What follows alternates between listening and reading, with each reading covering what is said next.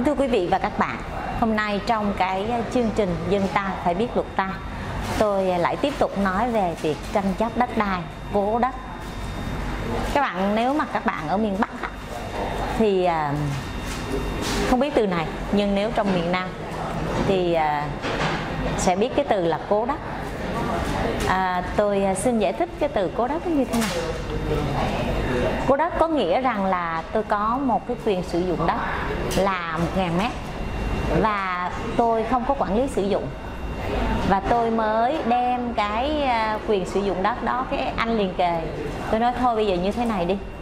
Tôi đưa cho anh à, anh đưa cho tôi số tiền là 300 triệu. Anh quản lý sử dụng giùm tôi anh thu hoa lợi gì đó. À, trong thời hạn là 10 năm. Nếu như trong trường hợp là tôi à, sẽ đến và trả lại cho anh số tiền là đưa lại cho anh số tiền là 300 triệu và lấy lại đất của mình. Thật ra cái từ cố đất đó nó trong miền Nam thì rất là nhiều. Tuy nhiên nó có một cái câu nếu hết thời hạn cố đất thì một trong hai bên có ý định tranh chấp như thế nào? Thưa quý vị và các bạn sáng nay tôi à, được tiếp một à, vị khách hàng. À, và tôi lại nhớ lại cái câu chuyện ngày xưa đó là cái việc cố đất. À, các bạn biết không? Thì à, đất của vùng quê là đất nông nghiệp. À, ông A và bà B thỏa thuận như thế này các bạn ạ. À. thỏa thuận bằng một tờ giấy à, hôm nay à, ngày mấy tháng mấy tôi à, cô đất cho ông B. Bà A cô đất cho ông B. Thời hạn là 10 năm kể từ ngày cố đất hết thời hạn hết thời hạn của hợp đồng cố đất thì phía bên B phải trả lại cho phía bên A. Và bên A sẽ có nghĩa vụ trả lại đúng cái số tiền gốc và tôi nhớ là hồi đó là năm chỉ vàng. Vụ kiện này thì à, của tòa án nhân dân tỉnh à, Long An. Và sau đó thì à, có một cái câu mà ừ, khiến tôi nhớ mãi. À, thực sự ra cái thuật ngữ ngày xưa rất là hay. À, trong đó có một cái câu là nát lời nhưng không nát vốn các bạn có hiểu câu đó không? Nát lời không nát vốn.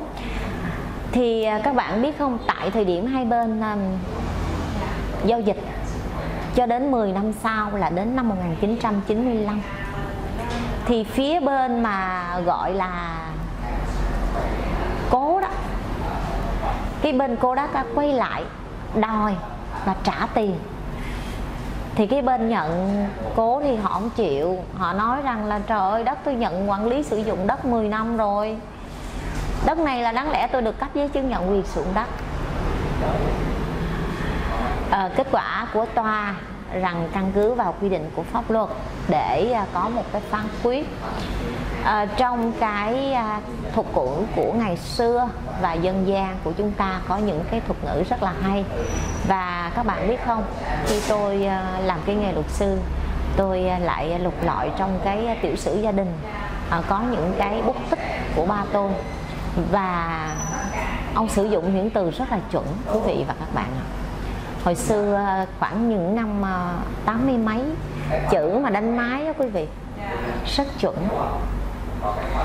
Thông qua cái câu chuyện này thì à, tôi muốn nói cho quý vị và các bạn điều gì? Việc tranh chấp đất đai mà đặc biệt là cố đất, cầm đất, thực sự là không biết về thuật ngữ thì là gọi là uh, thế chấp không đúng ạ. À. thôi cứ mình cứ sử dụng cái từ là cố đất đi. Là một cái văn bản mà trong đó các bên thỏa thuận với nhau về giá tiền cố đất. Chủ sở hữu không thay đổi. Tiếp thời hạn. Đến hết thời hạn đó thì các bên giao trả cho nhau các quyền và nghĩa vụ. Nếu hết thời hạn đó trong trường hợp có phát sinh tranh chấp thì rất là nguy hiểm. Tôi à, cũng có nói với à, cái vị khách hàng sáng nay à, tôi cũng mong muốn đem cái câu chuyện của anh đi lên trên video. Thì anh bảo rằng là, không chị tôi lại sợ thì thôi. Tôi cũng có một vài những cái câu chuyện thông qua cái câu chuyện tranh chấp quyền sử dụng đất cô đất này tôi cũng có có có có đi tòa đó các bạn. Tòa án nhân dân tỉnh Long An. Những cái vụ cách đây khoảng chừng năm tới 6 năm gì đó. À, hy vọng rằng à, chúng ta sẽ biết thêm cái thuật ngữ cố đất à, đối với các anh chị em của miền Bắc và việc tranh chấp quyền sử dụng đất nó sẽ như thế nào phụ thuộc vào giấy tờ các bên xác lập tại thời điểm cô đất thời hạn các bên và bên nào vi phạm hợp đồng. À, thế nhé quý vị và các bạn. À, hy vọng rằng cái video này nó như một cái câu chuyện rất nhỏ rất chậm kể đến cho quý vị và các bạn. Để kết một cái câu chuyện này thì à, tôi à, nghe rất là nhiều những lời khen. À, cũng có vài lời tiêu cực. À, tuy nhiên thì à, à tôi vẫn nói với quý vị và các bạn là tôi lấy đúng một lời chị à, hoặc là anh gì đó khán giả comment ở phía dưới. Chị ạ à, tôi là tôi vốn ghét luật. Nhưng mà sau khi nghe những cái video của chị và tôi cảm thấy có một cái sự tin tưởng ở pháp luật Việt Nam. Các bạn thấy đấy à, chỉ cần một cái niềm tin vào công lý thì chúng ta sẽ cố gắng đi tìm nó. À, dù công lý nó cũng khó khó có thể chứng minh khó có thể tiệm cận đến à, nói như vậy cũng không có nghĩa rằng là mỗi số mấy bạn oan sai mà đưa cho tôi thì thật sự cũng không có thời gian. Tôi chỉ biết nhận những cái vụ việc nó phù hợp vào cái sức khỏe và cái công việc của mình. Cảm ơn quý vị và các bạn đã đồng hành.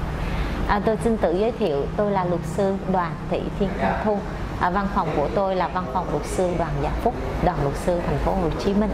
Liên đoàn việt nam các bạn nha xin trân trọng cảm ơn.